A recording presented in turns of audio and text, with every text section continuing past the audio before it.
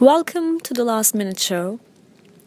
This month's uh, show features uh, Anna Teresa de Keersmaeker, uh, the Belgian choreographer, and her lecture on her work called Work Travail Arbeid, which was presented at MoMA this month. Um, she came to the Graduate Center CUNY to um, tell us a little bit about the process of transforming Vortex Temporum uh, into a museum uh, location, an exhibition format.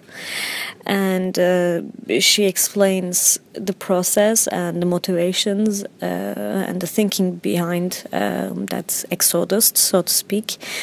Uh, in amazing detail this recording actually uh, falls short of the lecture in a way that um, her explanations, her physical explanations, are not possibly uh, delivered through the sound.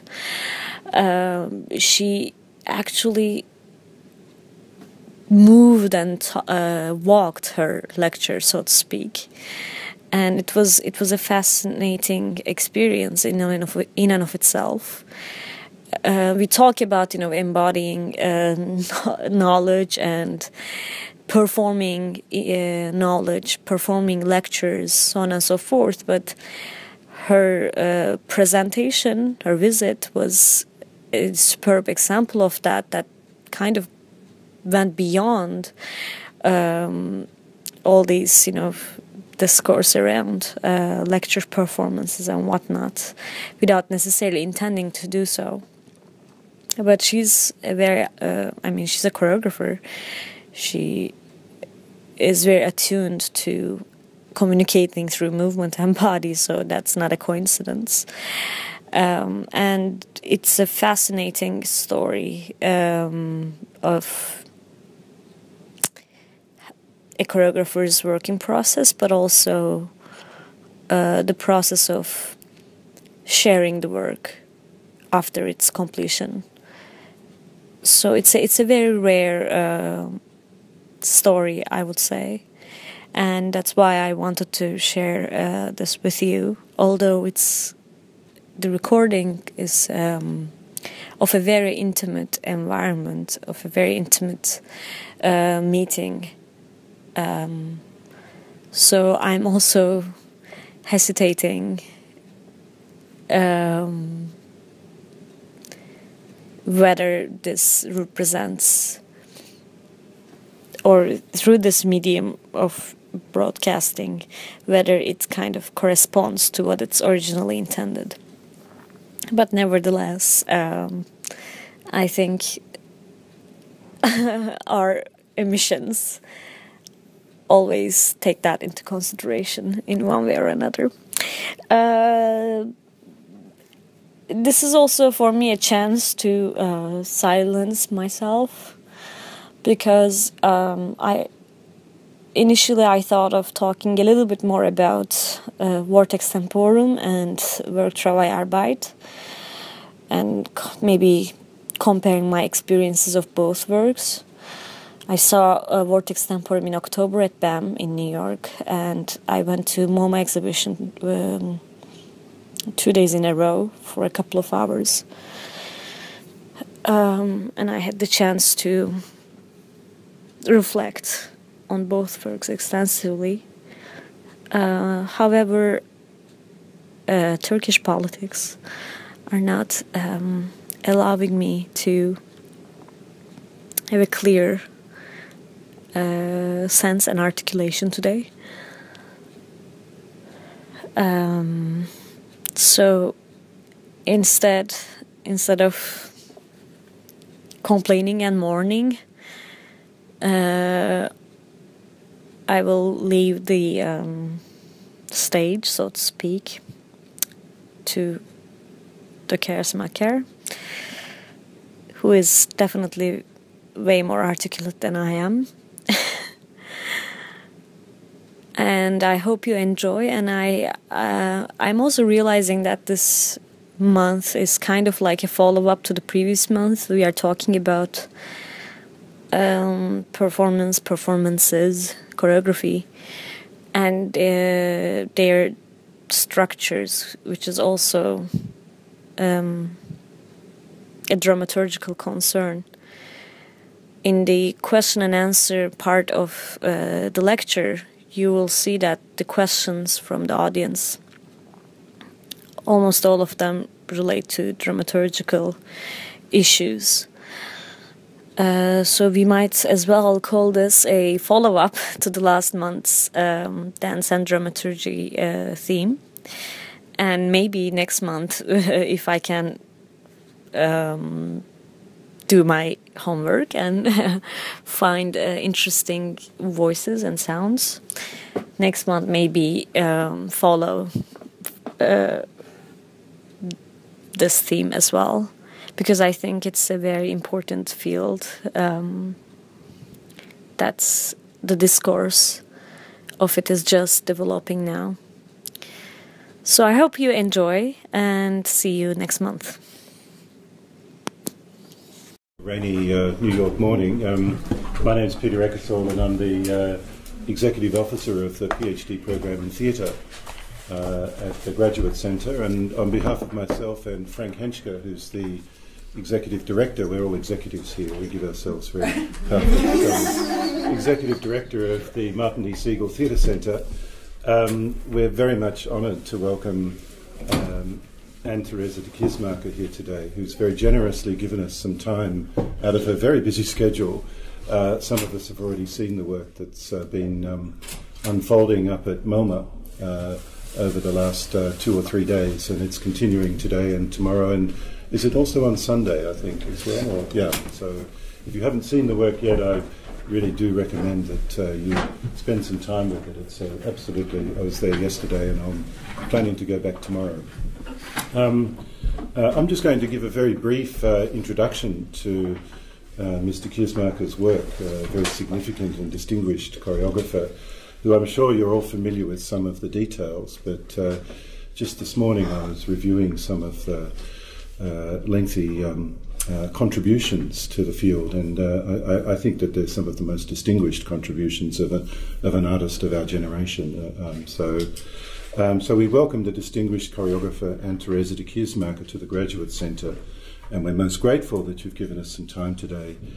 Uh, I'm sure that you already know that Mr. Keersmaeker is working with her, uh, working with her company Roses, has been making work for more than three decades. Um, uh, she's no stranger to New York. She studied here at NYU. Uh, some of her first work was made in New York, and there's a very strong relationship to, particularly, I think, New York choreographic scene and, and music scene. And uh, you know, as you know, there's this very strong relationship between music and movement in her in her practice. Um, based in Brussels, Mr. Keersmaeker was one of the artists working at Kaai Theatre in the 1980s and is one of the generation of the so-called Flemish wave of uh, that really innovative and important, I mean, globally influential scene. And um, my own connection there is that um, um, uh, Marianne Van Kerkhoven was one of my uh, teachers as a dramaturg, so I have a very strong kind of emotional connection to, the, to that place and to the artists that worked at that time and created such wonderful work. Known for her exploration of everyday and exceptional movement, Mr. Keersmaeker's work has given new insights into movement as sensitive, exhilarating, and intermediate form. Uh, she has made much loved and influential works, among them Rosas Dance Rosas, Drumming, Rain, and Vortex Temporum, the uh, work that is remade in such a surprising and, for me, revelatory way uh, the, in the current project at MoMA uh, which is called Work, Travail, Arbeid. Our discussion today is going to begin with a short conversation between Mr. Keersmaeker and Frederik Le Roy, who's from the University of Ghent and currently a visiting uh, Segal Scholar at, the, at our theatre program here at the Graduate Centre. And then we'll open it up to a more uh, general discussion and we invite contributions from around the table for what I'm sure is going to be a fascinating discussion on the work that in my viewing yesterday, I found to be moving, exciting, and surprising in its informality and its accumulation of gestures and forms. It was an experience of, I was there from the beginning of the morning, and then uh, suddenly things would happen, and then uh, suddenly it would turn into a, a, a, very complicated work, and, and it was almost like you didn't really see the way that it that it kind of accumulated it for, its forms and brought them into existence. It was a truly, uh, I, I, think, uh, uh, revelatory and. And as I said to one of our PhD students who was there with me, it was one of the great days to be in the office in theatre studies and to be able to go to work and see that kind of work as part of our work. It's uh, it's uh, it's it's absolutely an honour to be able to work do that kind of thing. So, thank you once again. It's a great pleasure to have you here, and uh, I'll pass it over to Frederic now, who's going to begin a discussion about this work in, in at MoMA. So, thank you, Frederic. Thank you, Peter. Thank you, Peter and Frank, also mm. for making this possible, and thank you also from my part for being here. Um, this is a bit of a two stage uh, rocket with the introduction of Peter, and now I'm going to ask some questions to kind of bring us into orbit uh, and, and think about this work together, work to uh, Arbeid. Uh, I think you'll all agree with me that it is an extremely um, rich work that starts from a very simple question so, how can we make choreography into an exhibition? Um, but is at the same time addressing numerous uh, um, issues, a vast array of issues about choreography, about experiencing choreography, about the different spatial and temporal temp- uh, parameters of uh, dance performance and of the exhibition, about the interaction between uh, the performing arts and the visual arts, each with their own um, historically established codes, rituals, and modes of spectatorship. Uh, about the physical, material, and immaterial labor of dance and of performing uh, music and doing those um, together. It also invites us, of course, to think about how a choreography in the museum can become a way to look back at uh, somebody's uh, choreographer's or an artist's um, oeuvre. And I want to start off with that, with that kind of res- retrospective gaze, because I do understand that at the start of your project or your interest to make this project, you deliberately didn't want to uh, make a retrospective of your own work. So I was uh, wondering if to get this going, you could go back and kind of go to that initial thinking and initial thinking process when you were exploring the idea of creating a work that could be watched from different perspectives. And at the same time, there was this invitation of Wiels to show um, something, make a project for the exhibition uh, space. Yes. Well, yeah, as you know, I started to make work in 1980. 82? No? Yes, 1982 when I made. Uh, actually, in 1980. 80 was Ash, I think. 1980 was Ash. You're a good scholar. yeah, 1980 was Ash, But the, the 1982 and 1981, I made Fase, a violin phase while I was studying at uh, on Second Avenue on the School of the Arts at Tisch. You know, I was studying here for one year. In the evenings, I was working uh, uh, on that solo. I had that music with me when I left from Brussels. Uh, for me, it was uh, it was a discovery. Uh, discovery the city, discovery a lot of different ways of performing, both in the so-called avant-garde scene, and but also on Broadway and so and then act- actually over those um, 35 years i mean indeed as you said i've been making nearly 50 performances which are in the classical black box theater. Yeah. Um, I rarely. The only thing what we would change was in, when you were in summer festivals, you would go in the open air, but mm. still with a normal traditional setting. Yeah, you have a you have walls, you, you have the box, the wall on top, on the sides, and people watch to you uh, in the front. Um, the very first time, actually, it was in MoMA when I performed. Uh, violin phase, I think. Violin phase, and violin phase when it was asked to perform it in the atrium, we did it in the sand, and now I'm thinking aloud. Actually, that idea of performing it in the sand and that the geometrical pattern that underlies it is emerging from was actually coming from the film experience. When Thierry De Mey uh, uh, filmed Fase, we decided not to put it in the in the black box, but we went for each dance in a different location. And one of the locations was that violin phase was done in the forest, and uh, uh, it was Thierry who suggested wouldn't be that the writing of the dance would emerge through the action. So uh, he came with the proposition of using the sand and that every move would leave a trace. Yeah, sort of like yeah, my footsteps draw the geometry, and for that it was necessary uh, to. It was also good to allow like a top view. We use the camera that was a fixed image. Yeah, and I think there's a picture in here. yeah, there was a picture of that in here. And that that idea was actually taken back, yeah. Yeah. That idea was actually taken back when we came to to MoMA and it was really inspired by um, by one the idea okay violin phase is in a circle so a circle form allows itself to be seen, you know, from all different sides. It's when you go to Washington Square or you go whatever is an open space and somebody starts to do something, it's like somebody starts to make a fire and people go around and sit around and observe. And everybody is in a kind of democratic relationship to what is happening. Yeah. Um, the crowd, the, the, the, the circle would enlarge. Uh, the more people there are, yeah, or that will get thicker. But anyway, that is the um, that is the normal situation.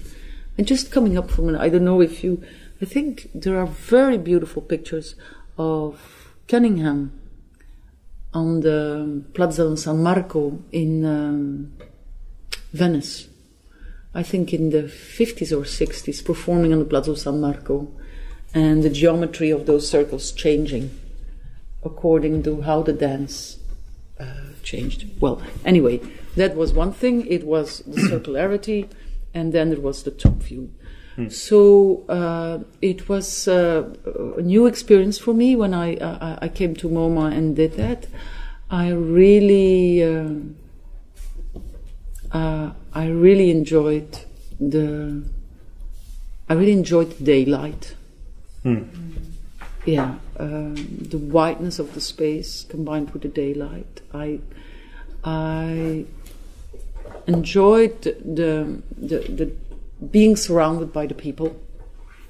Yeah, uh, I enjoyed the mixity. Do you say that of of the audience? The mix, yeah. The, Yeah, you really felt this was visual art per, uh, audience, this was dance audience, this was tourists, this was people who just came by, and you felt like sort of in between a museum and a marketplace. Um, that that was really nice. It was also it brought the thought. Uh, of course, it's not only visually changing, but suddenly hearing this music filling the space, this enormous space of the of the museum, the music, or the repetitive music of Steve Reich. Um, yeah, it's a, it's a. I think even more as the visual aspect, the the hearing. Yeah. the hearing is really consistently changing. The, what we use as being the environment in a museum. Museums are a little bit like churches, or like uh, there is this notion of silence. yeah. Yeah, and And I think that is important if you come into MoMA even here. If you enter there and you've been there before, you already hear the music. The space is already has already a, a totally different energy.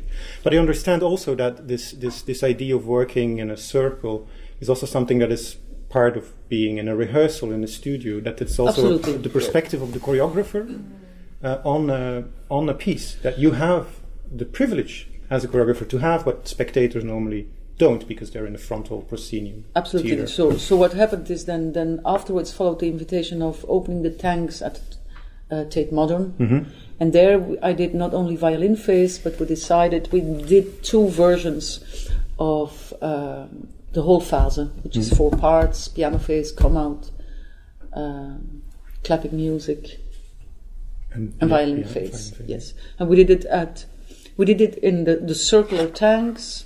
People were all around. This is not a big empty space, but it is a really it's a tank. It's an industrial space. A bunker.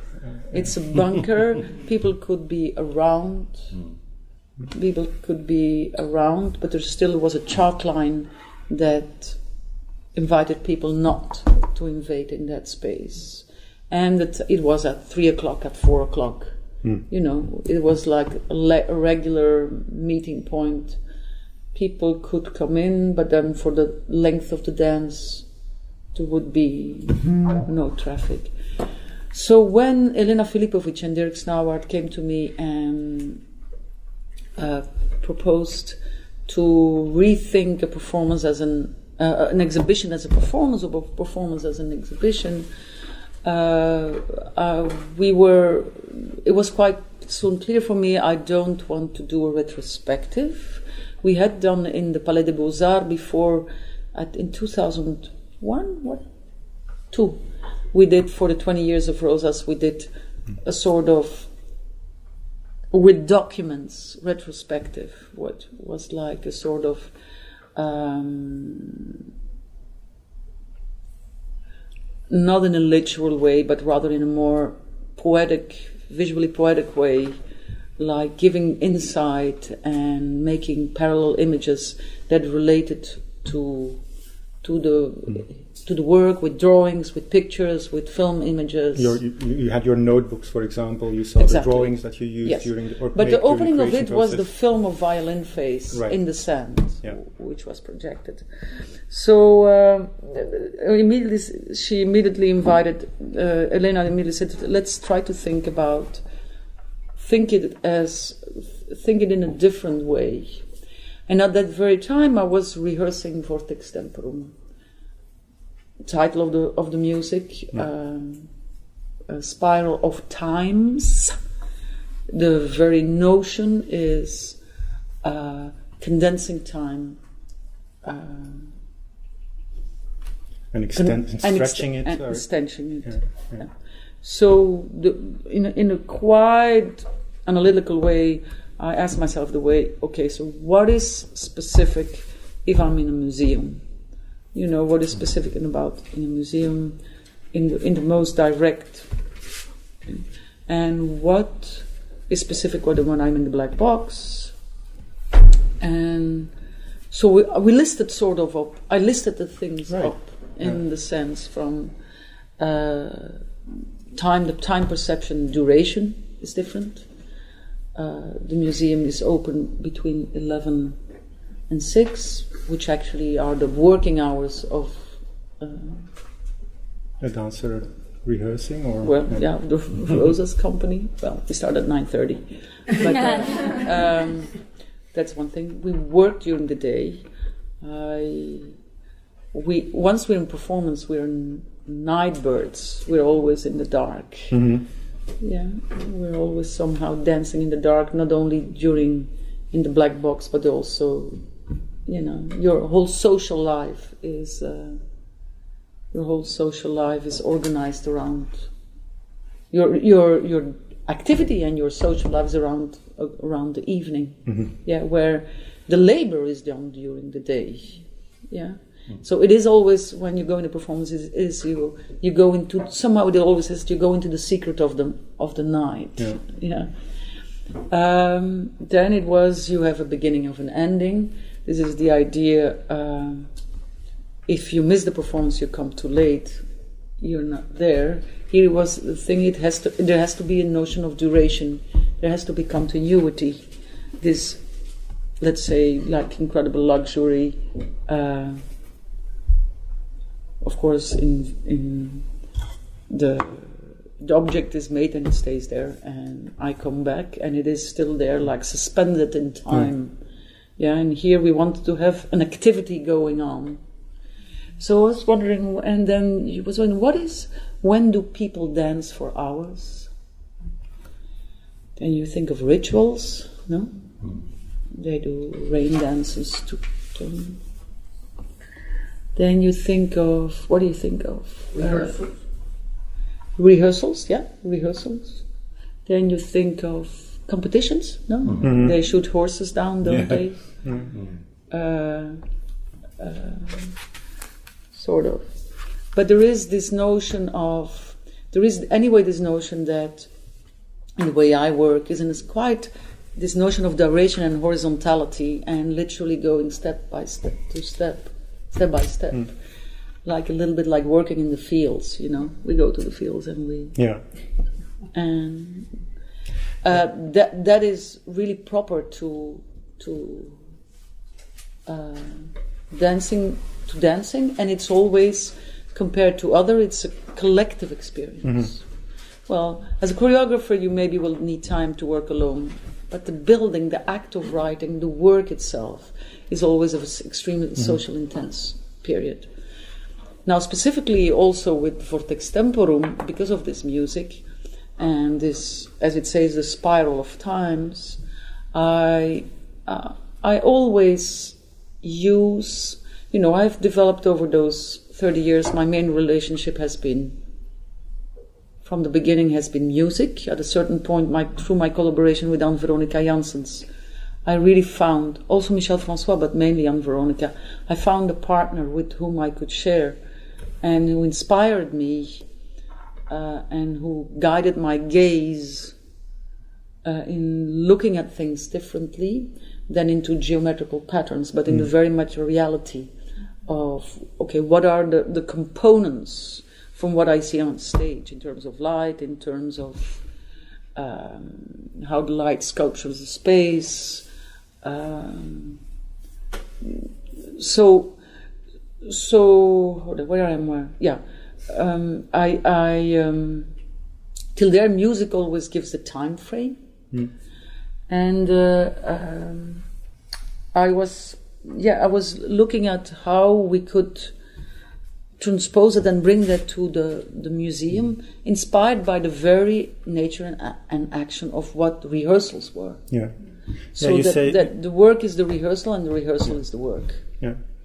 This is it's I, I find it interesting because about your own work, you choreographies that are on the stage actually, you once said the performance is the the performance is the work and the work is the performance. Yes. Really thinking about this relation between the vocabulary that's being developed during the rehearsals is what you are going to see. In the museum the interesting thing is that in the museum normally you see the work has been done. You see a work that is already finished. Yes. While in performance, you always, in one way or another, are uh, a witness to both uh, the creation uh, of the work and you receive the work. And, and those Yes. happen at the, at the same time to a certain extent, because there's, of course, especially in your case, a, a pre existing uh, choreography. Um, maybe, Peter, you could show the next, uh, the next image. Um, I, I'm, I'm quite struck that you say that you make this association with the with the De Mey film of uh, the choreography or the writing kind of emerging out of your out of your dancing. Um, Vortex Temporum, the piece, the dance piece, was extremely dense, condensed, a very complex, polyphonic work of sound and movement.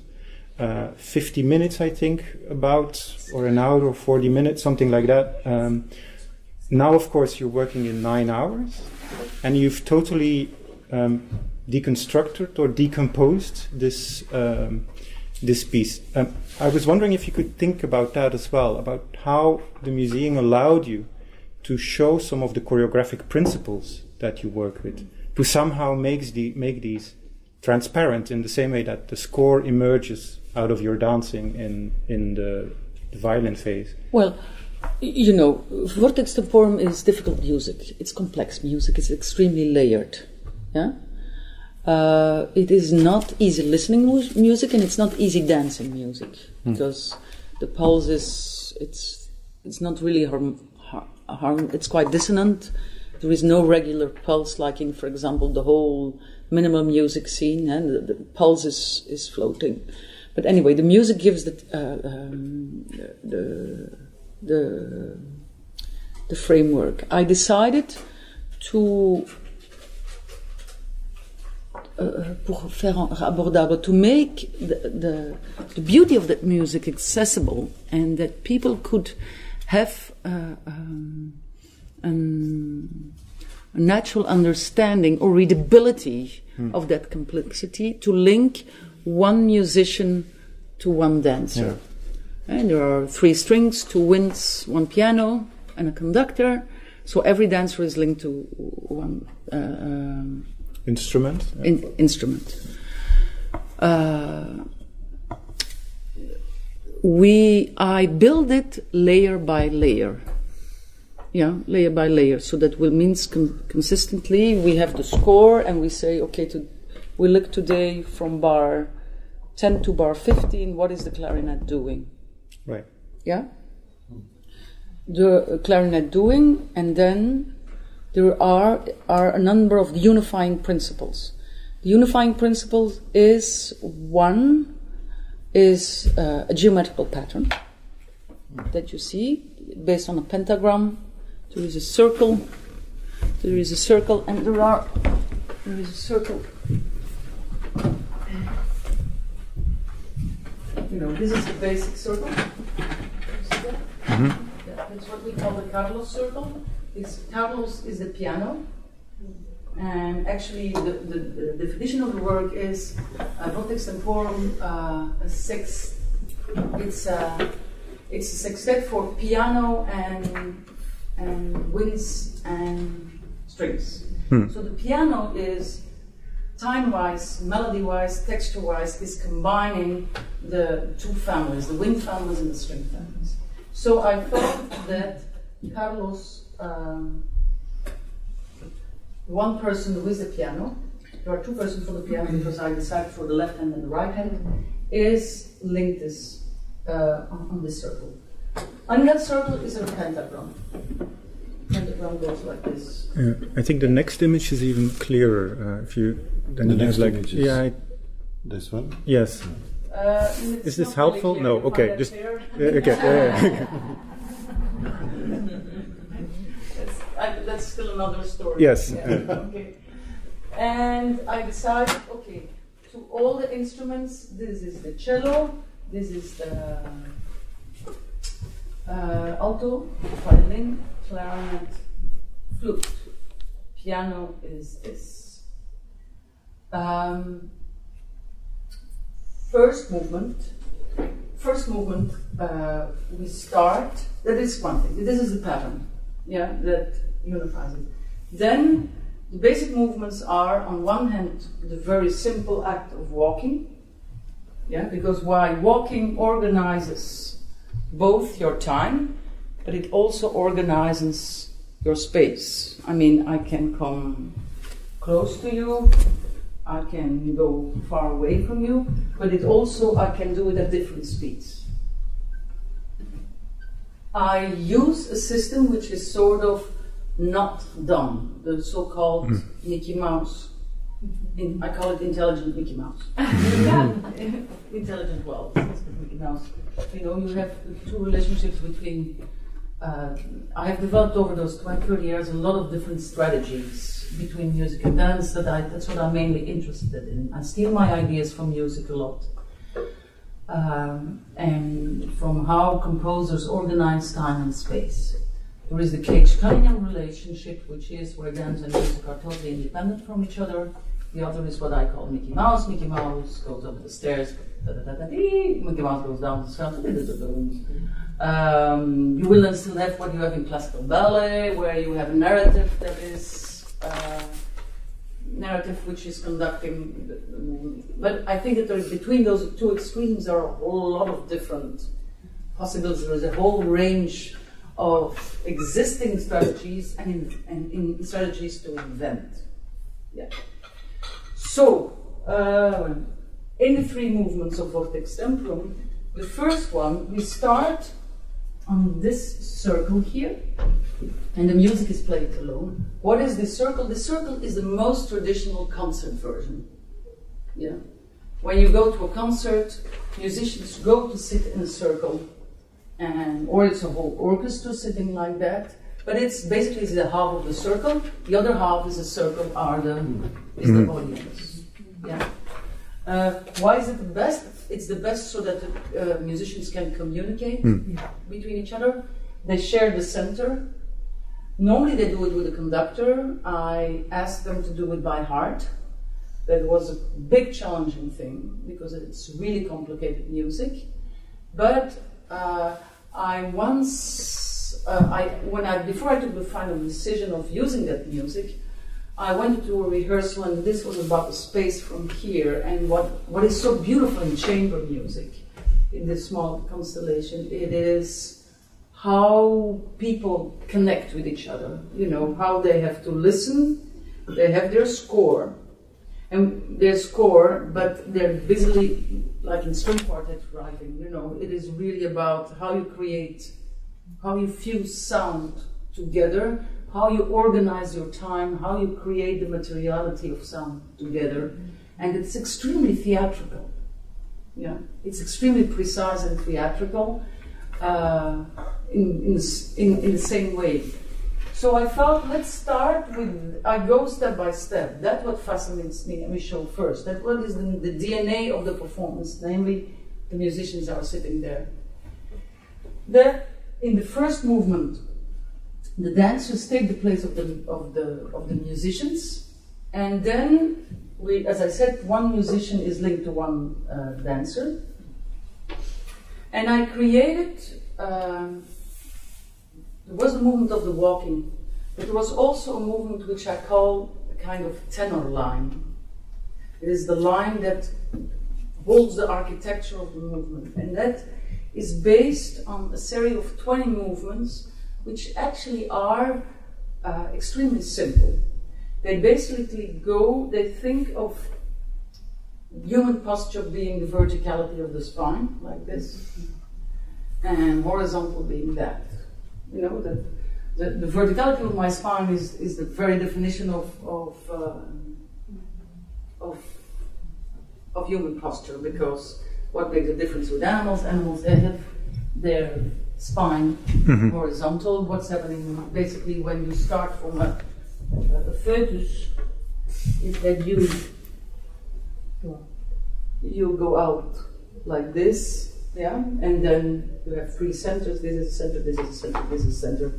And when you go, you grow from kid. You grow up, and then when you die, you sort of scramble again.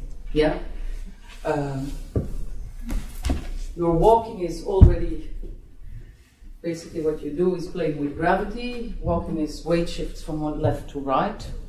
But I decided to create a movement which is basically formed here, where it takes the center here, and that is in 20 movements where I, in where it's not only a geometrical pattern on the floor, but it's three-dimensional, and it is initiated from here, like this movement one, movement two, I have a weight shift, movement three, I start to spiral, four, five, six, seven, eight movements, a series of 20 movements, which sort of um, spiral like this. And then from that basic DNA, um, the dancers builded longer phrases. For example, this movement can be transformed in that, or it can be, uh, you know, I take the shape and I turn it around. Yeah. So, uh, where was I getting to? Um, in the first movement, we are on place in space. We don't move in the space, but the movement is linked. Every instrument, every dance to its instrument, and it's only like basically spiral movement. In the second movement, the second movement, the whole constellation from this joint circle starts to turn. You know, here the turning is around my own spine. Here it is, we're gonna walk, and it is like a big clockwork or a big mm. spiral that, you know, everybody has his, his, his circle, and then we're gonna move counterclockwise. Yeah, counterclockwise, besides the piano, because that is, if you want to if you want to have a lot of, if you want to have silence, you have to shortly, shortly make a lot of noise. Yeah, if you want, like in cooking, if you want to some having to something sweet, like for example uh, in fruit, you better put a little bit of salt, Salt, on it. Yeah, you don't put sugar on sugar, but you put on something that is sweet, you put a little bit of salt. Uh, so you you I the main movement is continuously counterclockwise. Uh, counterclockwise and goes clockwise. Mm. Yeah, so you, you get this opposite. Uh, opposite. In the third movement, here it is quite condensed in space. In the second movement, the rotation element is the most, and then it opens up. We go from those smaller circles, like these circles, we go into the big circles. You see? Mm. And then we hit the we hit the The limits or the walls. of the space, and then in the third movement, we gonna go. There we're gonna combine what was exposed in the first movement with these movements, but making them traveling in space. Hmm. Yeah, and the music is built up. What he says talks about those three dimension of times, the expanded time, the time of the whales, sort of cosmic time, uh, a suspended time, slowliness. Third, the, the, the condensed time, which he calls the syncopated time, and time of the insects, before you can perceive something like. Uh, and then the, the, the middle time, he considers like time of speech, of uh, the time of the humans. Yeah. Um, he constantly sort of basically in the second movement this this like nearly ritual way how it starts to turn and there is a regular beat that organizes it uh, but then afterwards both the space and the time they they condense Hmm. and they open up at certain points the mass sort of condense in the middle you get like the mass disappears on the five points of the pentagon, and then they open up. Hmm. But this is all, how shall I say, embodied, Yeah. and what is, of course, completely different. No, what what happened? Now I get to my point. is that when Elena Filipovic came to ask me, I was fully busy with constructing this in the daylight from 11 till 6. And I was doing this work where I would build this third movement. And I was saying, okay, uh, this morning we're going to work only on the clarinet. And, uh, and I was sort of uh, seeing this and how I put all those layers separate, one after the other. And I, I said, oh, I find this so beautiful. And I find it beautiful not only to, uh, it would be dancing to watch it from here, but I would go on the other side. And say, oh, it's a totally different perspective. It's super nice also. And I was saying, but I'm never going to be able to do this in the black box. Because otherwise, we're going to have to make a performance of um, nine hours, ten hours. Uh, and I used all the different combinations. And I was sort of sad and uh, uh, frustrated that it was not going to be possible to do that. Neither to look at from different angles, neither to make like performance. Well, of course you can do that. Uh, you could make performances that, uh, but uh, but it it was not. Uh, so so when Elena came to do it, and I thought, well, it it. Uh, this unlayering, this deconstructing, decomposing would be perfect. Uh, uh, To do in the in the exhibition space. do it in an exhibition space. Of course, in the exhibition space, there is you have this um, choreography as scripted movement, which has been developed and is set. But there's also something incredibly unchoreographic about this space, in the sense that there's, of course, the presence of spectators, so who, who move through the space, who influence the dance. Um, what are the protocols that exist next to uh, the choreography? Well, it's very, it's, it's quite simple. Eh? This, the, the, the, the vortex temporum spiral of times, the basic material is water. It's liquid. you know, this is a line, a, a line drawn, and this is an organizing principle. But what is the, the property of, of water is that Right. if, if it comes, it goes wrong. Yeah, sorry. Yeah. it, it goes wrong. You know, you, you're not hitting like, Yeah. like, like that. So, if you're a dancer, you better be flexible. Mhm. Uh, Yeah. You better be, it's, it's the nature of, of the, the, the thing. So, when something, what is the big force of water is that when something comes, you, you, you adapt you know, you adapt, you go around, and you.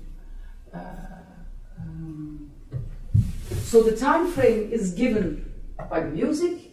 The the the spatial framework is given by this geometry, but it is uh, uh, uh, the energy of the movement is water.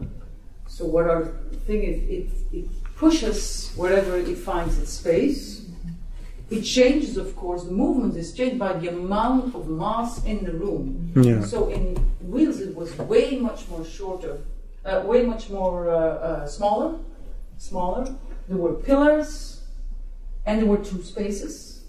But so, for example, at the opening night, there were like in this relatively small space, there were like um, 300, 400 people, and you, you can see it in the, in the picture of, of things. So the movement would uh, would interfere.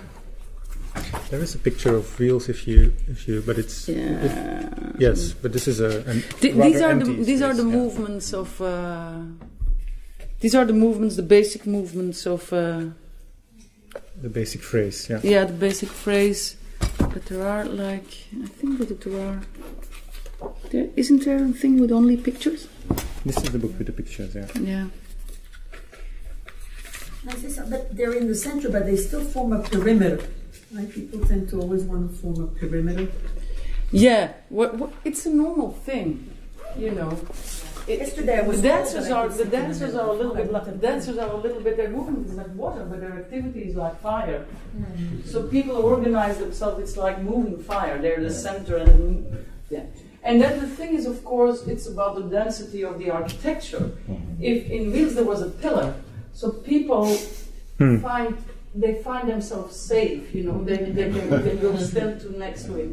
To do what like what happened in MoMA the other day, it's really a decision that you say, okay, I'm Yeah. gonna so go and sit in the middle. You know, I'm gonna get the experience. You would be surprised sometimes, like in Wiels, people would. Um, Yeah, they would have picnics. Would picnic. well, or Wasn't maybe they, not the best they- idea. They would make a statement. They would be sitting in the middle, and then the piano would arrive, Yeah. And they would say, "Well, I'm going to stay here." yeah. You know, I'm gonna, and they look for the physical. Somebody really tried to do that yesterday. They, they were very resistant to moving and they just put Yeah, you know, there. like see, Yeah. it was like here. It was, yeah. But it, you get the feeling of the marketplace. Mm-hmm. Yeah. But with the only different thing if you have like hip hop dancing or people sitting in the Yeah. middle. But here the thing, the, the movement is as I say, like fire and water. It it spills Yeah. through. Mm-hmm. We were But you sitting in the middle yesterday, but then in the moment of Tutti, You had to run. we were asked very Yeah. graciously, Yeah. David's By by whom? by Marie, by one of the Yeah. dancers. She shouldn't do that. but it was the moment when they were like racing. It was a really the Tutti Yeah, moment. yeah. So But I- I, felt I was traversed by a work, and I've almost never felt traversed by an artwork. Yeah. And it was really Wow. extraordinary.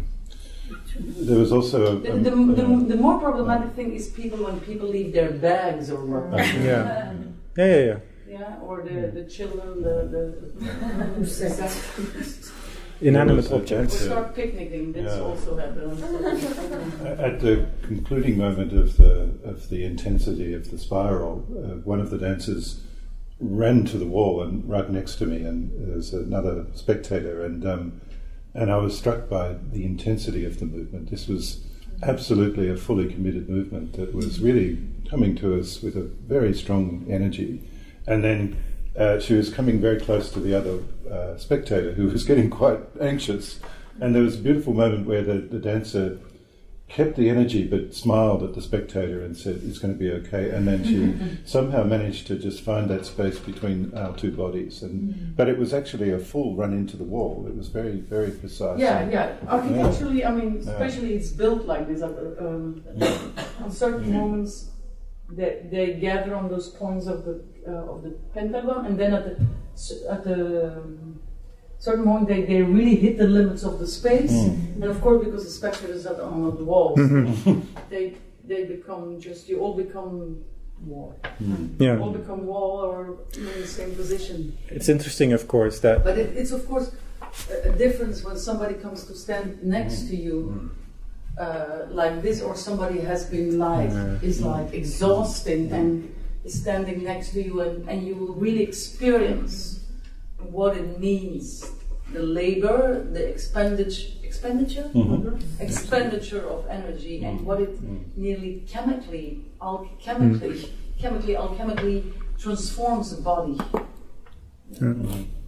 But the space is really inverted. I mean, in the museum, normally the artworks are against the wall, and here it is actually the spectators who are, and the, the art, Yeah, that's the art true. itself is moving in the in the middle Yeah. somehow.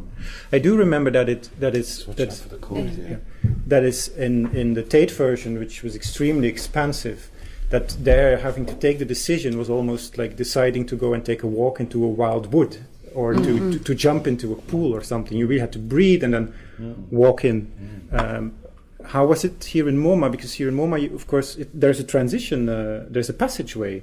And, and, and so the negotiation with people is very different because you, you have people who are there and who often are surprised by a dancer passing. They start to move sometimes in a similar way than the dancers. This kind of like, um, like I don't know, ja- jagged movement or something. Um, Yeah, yeah. Well, it is the specific thing that in the in the atrium you have this this other space, and then it becomes a transition space. People go over there, and so.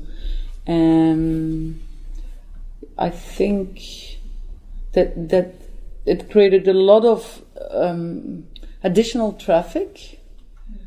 Uh, but it, it was the challenge was to find an elegant way not to oppose to that, not to deny it and not to oppose it. Yeah, not to say as if it wasn't there, but uh, so to, to create situations where it would invite the people, not to forbid them to go there, but in a way, in an elegant way, to invite them to hang around and to stay and to be on their way, be maybe suspended and, and, and wait. Can, can I ask if um, there are two very different artworks in the in the in the room that people have to walk through the space to get to? One by Furuhashi Teiji and one by Nan Goldin. Do you do you have any awareness of, of the what the other artworks are in the space? I must say, uh, I do agree. In all honesty, I I, I, I haven't had Ah, yeah, yeah, time to.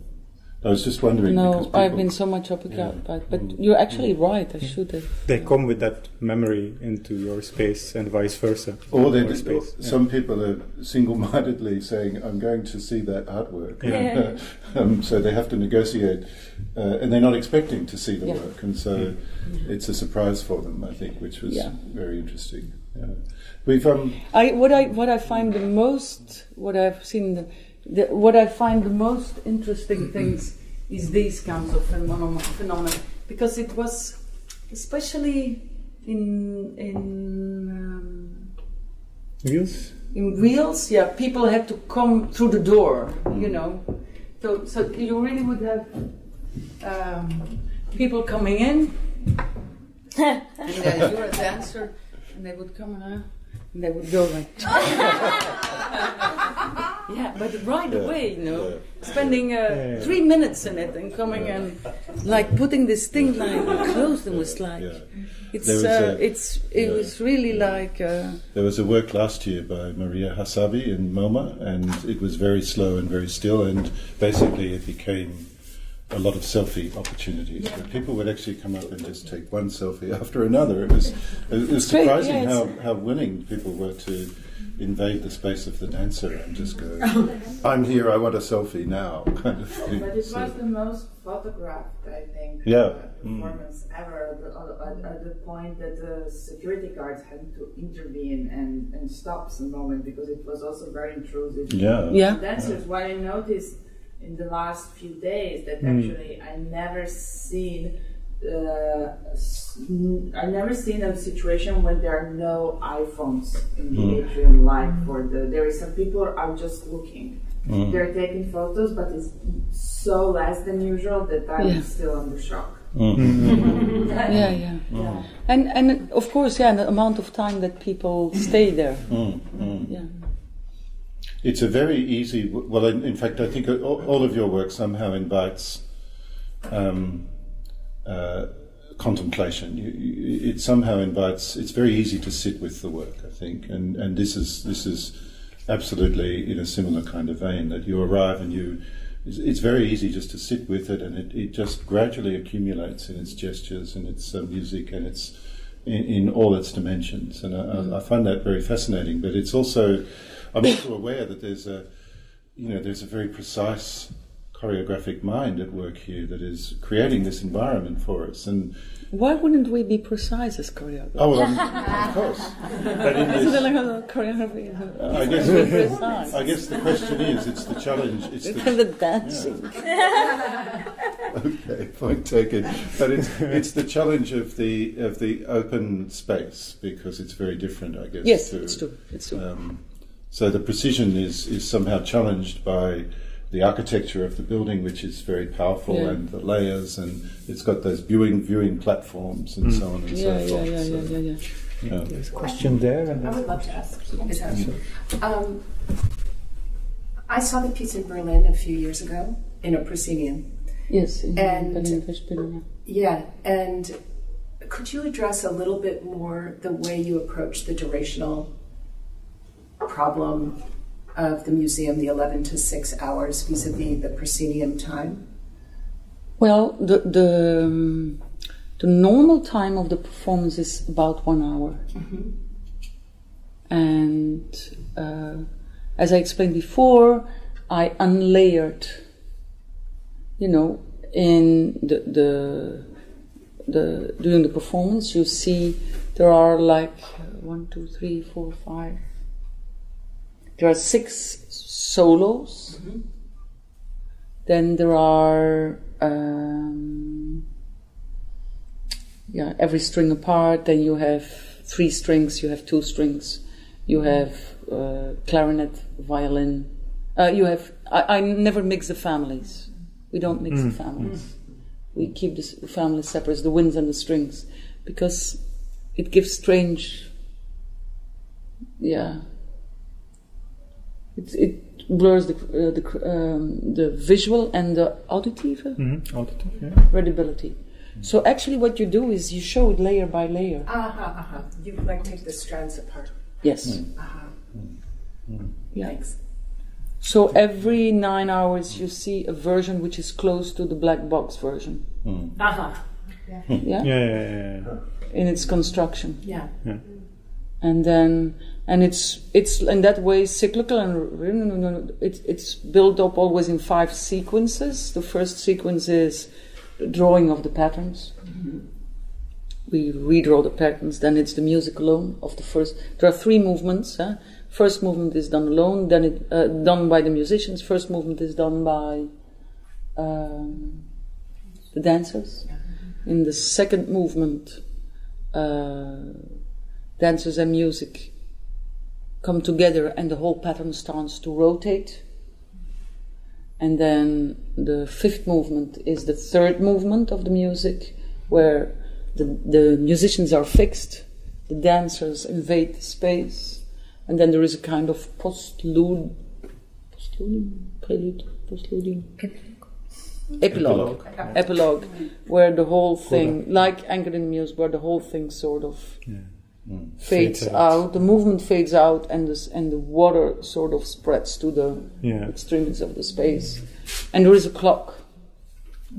There is a clock that they um, that they know that they follow, and that they know that there is a handover after one hour to a next constellation. Uh-huh.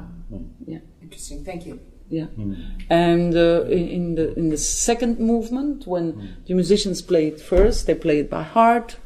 In the first movement, the dancers have the music in their heads. Hmm. They have the the music in their heads, so they they they it's actually their bodies organize the time.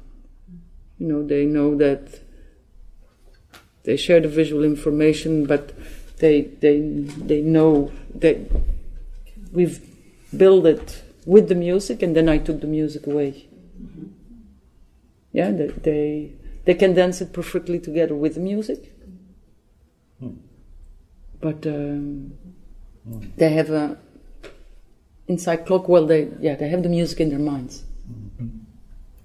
Missy, you had a question. Yeah, well, not really, more of an observation, and it was about your comment about how you felt like the space was somehow held, or there was there was, and you know, it was so interesting sitting there yesterday. Um, I, I it, it was taking me back to when I was 12 years old, and I used to come early to the company rehearsals of the ballet company that I was an apprentice with, and sit under the grand piano and just watch everything that was happening. And you know, as what I was feeling yesterday was how held I was by all the structures, and you know, it wasn't that I was always so consciously aware of it, but then I started looking at it because I was having this memory of the ballet situation, and the that absolute clarity of each dancer's intention you know, and and the knowing where every spiral was happening and on what plane, Yeah. um, on all the micro and macro levels. And then what you're saying now about the ways that you were unlayering a piece, because I felt very strongly the um, thread through of an hour of Oh, yeah, each yeah. event.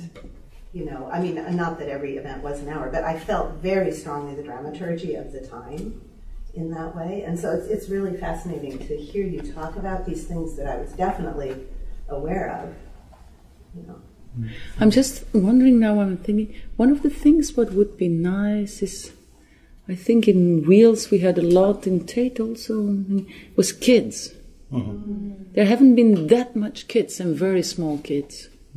Or they were they were somehow stopped by the parents. Yes, I've seen that. Oh, oh but then I, I I'm gonna go in and say that they should leave them. There were school kids yesterday too. Yes, there were hundreds They of would them. come They never along the upper level sometimes and stop and watch and mm-hmm. take pictures. Yeah, but There uh, were some little girls There were yesterday some, in the yeah, middle. yeah, yeah, were there little girls and yeah. In the middle, yeah, they were mesmerized and they had tutus and this. There was a guard on one of the floors. I was there a couple of days ago, and um, just fixated watching. The guards were like really, Oh, yeah, really noticed that as into well. it. There were a couple of guards. Yeah. Um, one was looking for the window. Yeah, that's one of the things I really like about this. It's not only about watching the dance, but also about watching the people watching the dance. I have a. I have, Monaco just Sorry. then, yeah. yeah. Yes, thank you, thank you so much for the talk. I also like have one questions about frontalities of the dances hmm. Because uh, I enjoy like a run, dancers running backwards, and then you explain us like clockwise or counterclockwise. But at the same time, I'm curious why they are running backwards uh, most of many of the times, and I, I enjoyed it very much. But I also want to know also why. And then uh, somehow this the next part is related to this frontality of the space. And then at the moment, the space is so high, and then uh, we could go up and then see and, and look down on the stage and space. Uh, but the third floor is closed. I couldn't go up to the third floor. But still, like I have the perspective coming from the bu- above. And then, uh, how would you think about this kind of uh, height or? Verticality. Yeah, Yeah. About the verticality, about the- the going backwards. Uh, yes, both actually. Um, it's a very, it's a very technical, but it's a very technical thing about how through the movements you sculpture the space. I can, through my body, sculpture a space by the movements I do. You know, for example, if I do this, I give a direction to that space, no? Eh? Or it's a different thing if I do this, yeah, or I do this, you know, the way how the architecture of my body sculptures the space. I can do that by my limbs, yeah, there, there. But the most strongest gaze, uh, the strongest tool to sculpture the space is gaze. Look at this. If I do,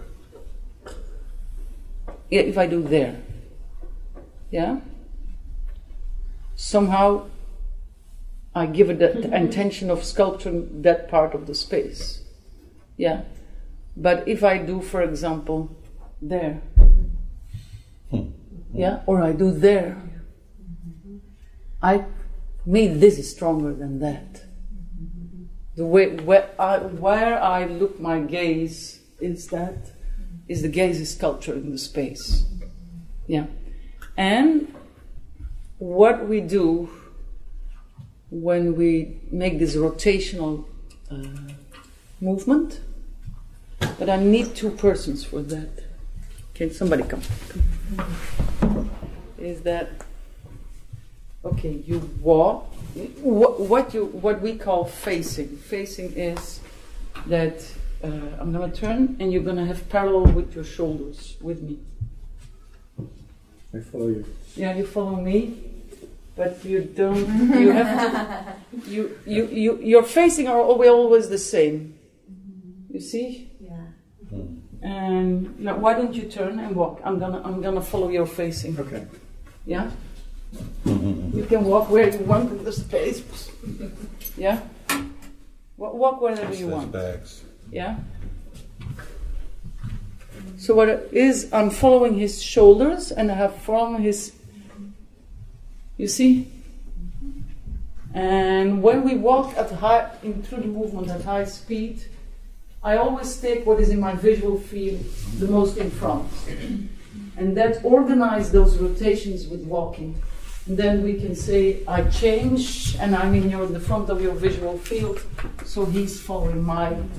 You see, and that creates situations where very often, you know, it's actually a system which is inspired by what we call flocking. You know, when when birds are uh, flying in a group, they organize this movement, and you have your peripheral vision, and there are a number of rules. You always follow the one who's in front. You connect to what is close to you and what is far away, but the, the direction is given the one who is the most in front. Uh, you don't want to, yeah, there are a number of rules, like you don't want to be on the outside. You can't fix the formations. The formations have to be liquid in relationship to each other. A number of rules like this, but were, were rules which were inspired, are inspired from the choreography is inspired of that, of spatial organization between in natural phenomenon and especially with animals. You know, and there is also rules about how you organize your speed, all those kind of things, and that means that it's like improvised according to quite articulated set rules. You take a question here, and then here, and then Well, here. thank you for. Also, um, it's interesting that you talked about water, you know, because that that was sort of the experience in terms of my reception of that I was very much felt like I was connected at times or being played and part of the connection between music and the dynamic between the musician and the dancer and at other times I just felt like I was going with with the movement. So it was a different experience of art in terms of that I was part of it suddenly. But my question is about the dancers and their their experience moving from different spaces and the musicians and have there been any unexpected surprises or challenges as as they move with this work, different spaces and different audiences? Well, it's physically very intense, so there is always a concern of not overloading over that and period of time. and, and injuries you have to you know because it's it's super intense.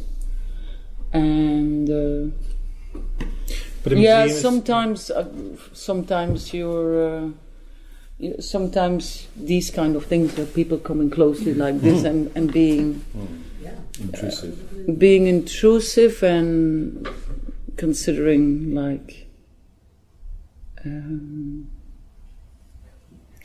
a physical body also needs care, and it needs like it needs showers and f- fresh Yeah. clothing, and there's it needs to be paid. Or mo- so, uh, a painting you just buy and it's there. And so, uh, could, could you talk about that reality? Because I think that might Well, be something that you're changing, the changing space. yeah, and different. in- Yes. in- You yeah. know, different size, different um, light, different uh, airflow.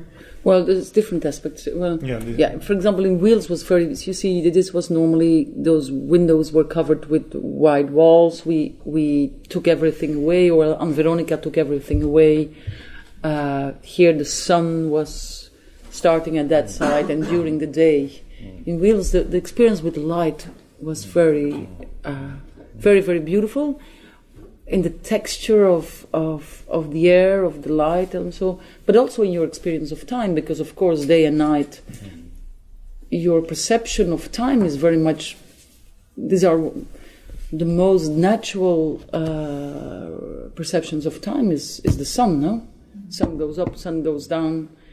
Uh, it comes in from there, it comes in from there. You know that in the winter it's lower as in the. In, so that was very beautiful, and it's of course different in both in Pompidou and here because we we uh, I think mainly of security reasons we could not do it only put all the all the light out yeah and do it all with natural light and then there was the the size of the spaces the fact that here there were two spaces in in Pompidou there were it was on the same on the ground level and then everything was um, This is statement. This is Pompidou. this is Pompidou so you people could not look from outside inside ah, yeah but um, uh, because it's mirrored glass. Yeah, sort of. Yeah, but there, there was there is a lot of activity, which originally I, I was a little bit afraid that it was going to be too confusing about readability and too full,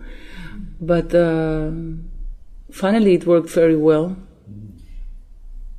Yeah, and um, yeah, the, the turbine hall in in Wiels we had two vortex in the turbine hall.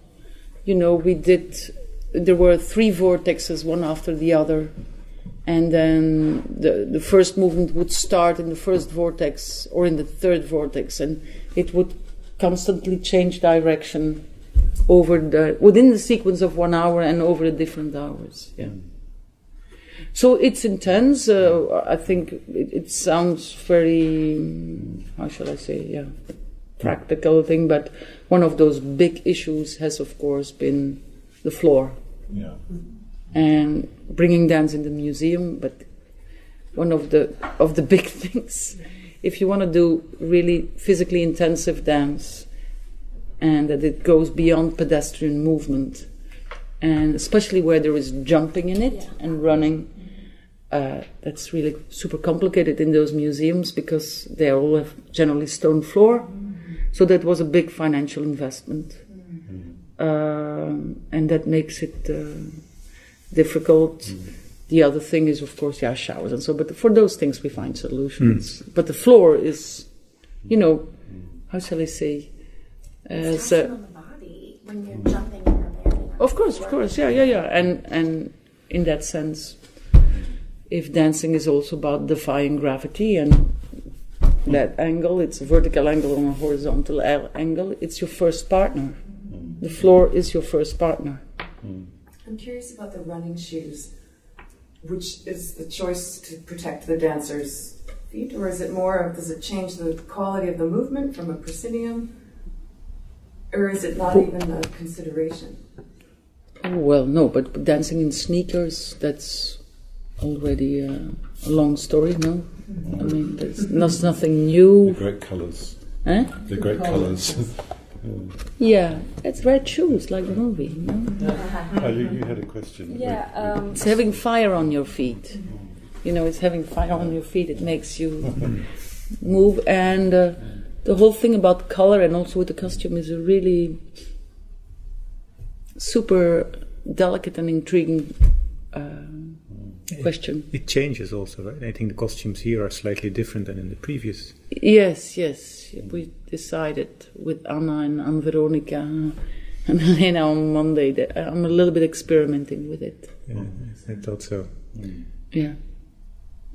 My question is, I'm yet to see the MoMA version of it, although I've seen um, footages from um, the other uh, museum locations.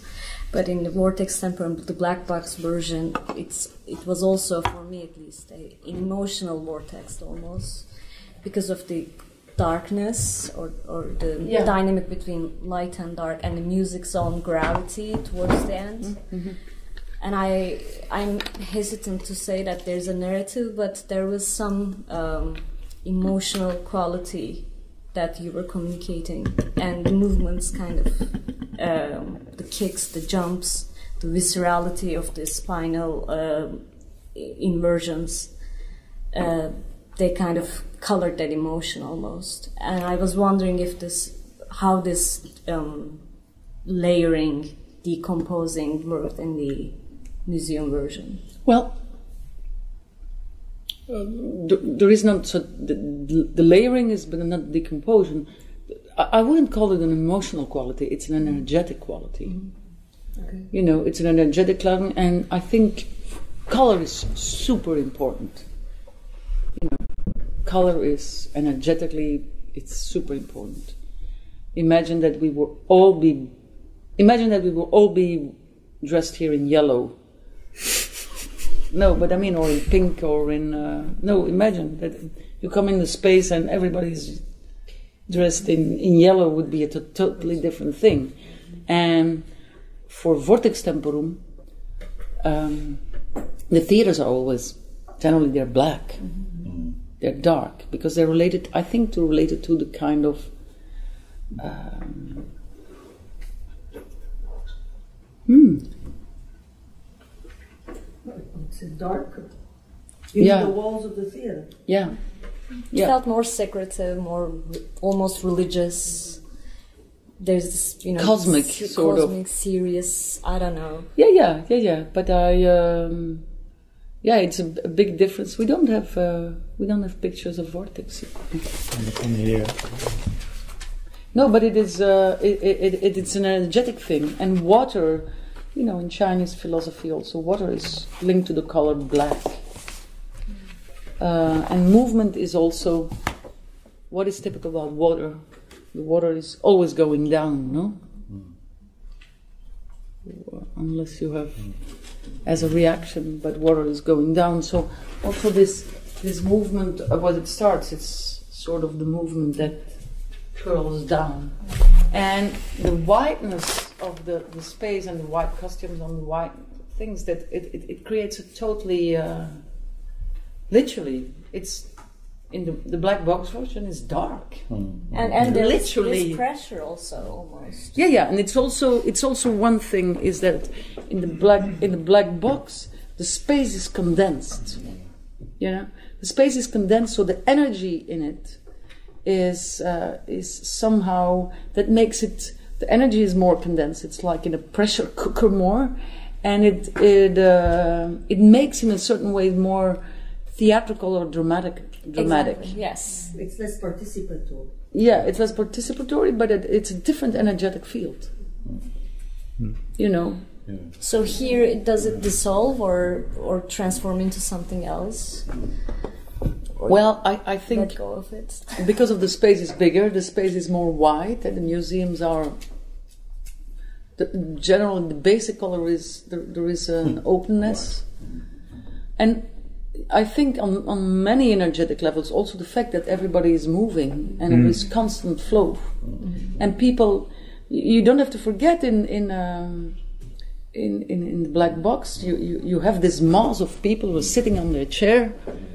Uh, This my question falls right into this actually, which is you know you were talking before when you were over there about the way that in the museum space uh, when the dancers are reaching the limits of this space and the people are right there, that there's a different experience of um, How you're involved? Yeah, yeah. be, you know, being able to to feel the energy expenditure, the labor of the dancing.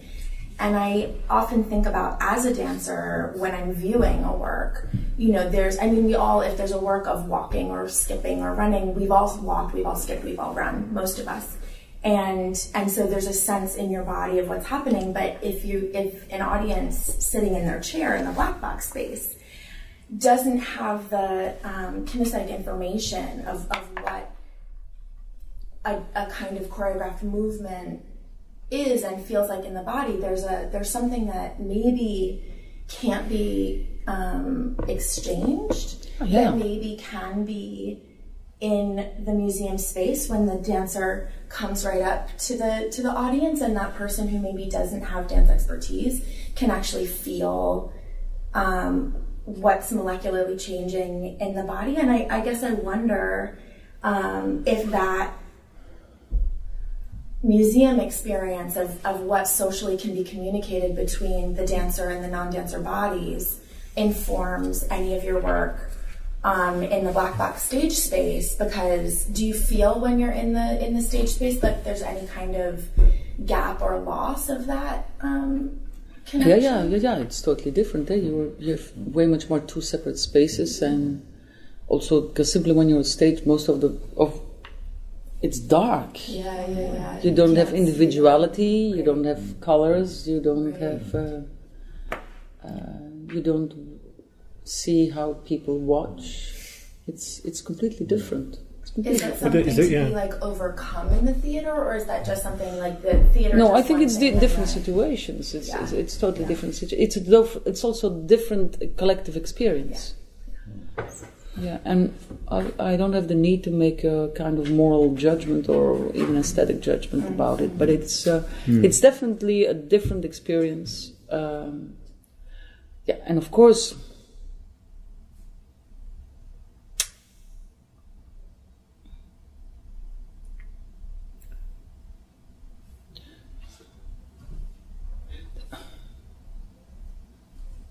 The most from ancient times the most natural experience to to to to, to experience dance is to dance all together no? Yeah. No. yeah. Is to uh, not to watch the dancing but We, we only have five minutes left, so could I ask for the two questions to be spoken, and then perhaps we could just uh, address them in a combined. So first your question, and then yours.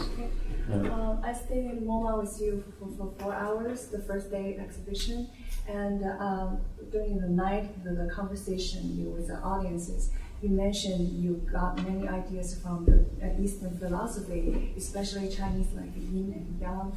So my question is, which starting point so impressed you a lot for your choreography for Yin and Yang? So yin and yang, and then one final question, and then we'll go back to So yin and yang. th- we. yeah, At least we get to hear the questions. All I'll so- say is somebody I work on uh, arts that is not performed, etc. And that, that we got to a situation where it's reversed. I mean, MoMA, Beaubourg, the Tate are a nightmare of noise, etc., etc. In fact, dance brings back discipline, order, clarity to the museum. Really? I mean, Structures you of the know, the noise, MoMA, you have to brace yourself to go. I mean, it's, it's back to the museum the way it was in the 19th century. You, know, You think people so? just- oh, yes. I, I don't see that silence. So, two questions to consider, but uh, we, we, we Art yeah, back in yeah. a funny way. Uh, paradox. Um, what well about the Eastern philosophy, there is a lot to be said, and it's for me a, a very long story that has become a part not only of my artistic practice but of my daily life. Uh, it's mainly a different, a different thinking about energy. It's a different worldview. It's a different, yeah, and mainly what I that is very much obser- inspired by the observation of nature. Yeah. Um, I like to combine the idea of ancient wisdom and modern technology, of Western analytical view, and more holistic, yeah, uh, uh, approach of, of organizing. Yeah, uh, I'm. I came through it through my background is my, my parents was my mother was a teacher, my father was a farmer. Um, yeah, and then I came through it mainly through through cooking, through microbiotics and, and through that practice I, I started to be interested in the philosophy. Um, I think uh, in the in the in these times, in these times where I, I, think we are at crucial points of the history of humanity, where with the rise of artificial intelligence and uh, high, techno- high technological advancements, the we, we get in questioning the, the, the presence of the body and how our your humanity is anchored in the in the body, and you you see that things start to cross. When there is an, an, an incredible speed where you have the feeling that that well basically robots are and artificial intelligence is going to take over and that we will become in our uh, physicality that, that, that we will become superfluous. On the other hand, with the rise of ecological disasters, and you get that a lot of people are more and more aware about the importance of approaching on many different level, levels, uh, going back to simple, natural, and ancient wisdom um, you know, those things are rising. I think we're speaking about the vortex and the spiral. I think we're getting more and more close to the center of a spiral.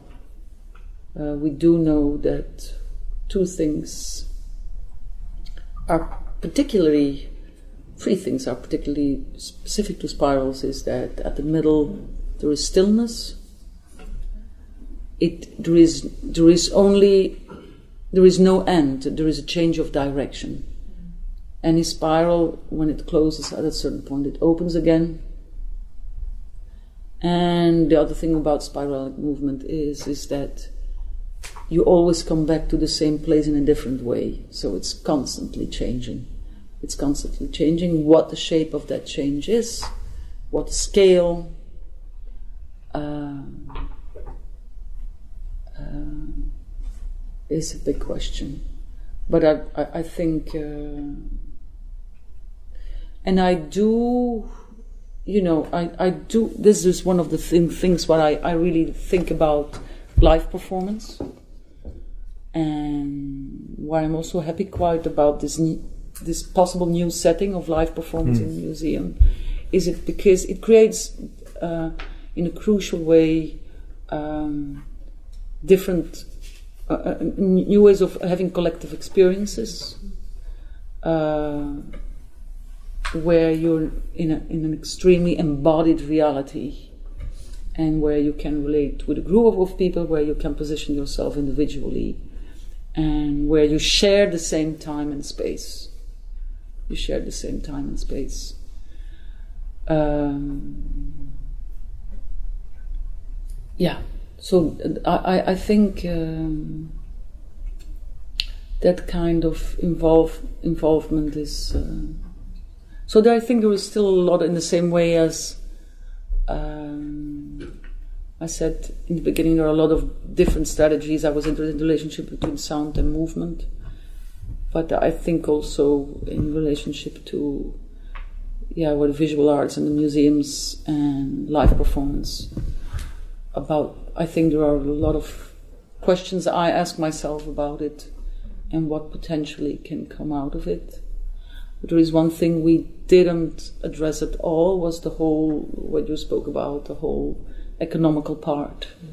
You know, in uh, an economy and in a market where I think I don't know visual arts in a certain degree, yeah, compared to performing arts. I mean, this is the question of how we're dancers are not objects. Mm-hmm. This is not specula- speculative. Yeah, uh, yeah. We can't you can't buy Right.